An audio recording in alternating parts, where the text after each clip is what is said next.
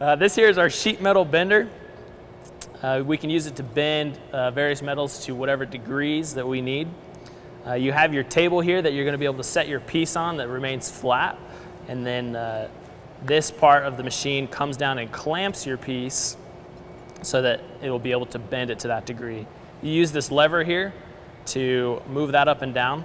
And while doing that, be sure to make sure that all fingers or any your clothes are all clear of the clamp as it comes down so that nobody gets injured. Uh, so I'll show you how to do that by we'll come in and we'll clearly mark our line that we want where we want to be bent on our metal.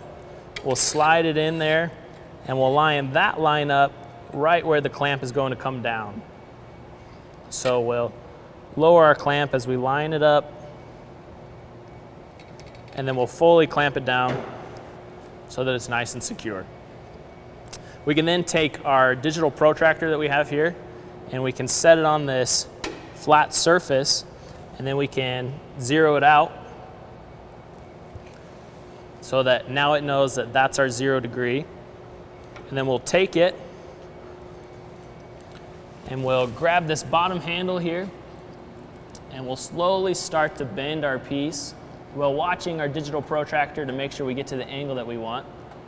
This piece I'm gonna bend to 60 degrees.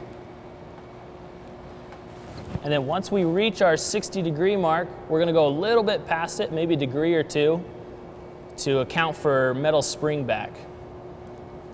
And once I've reached that, I'll lower it back down. Then I can unclamp my piece.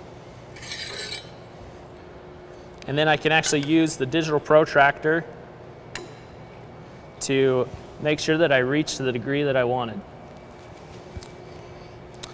And that's how you use the sheet metal bender.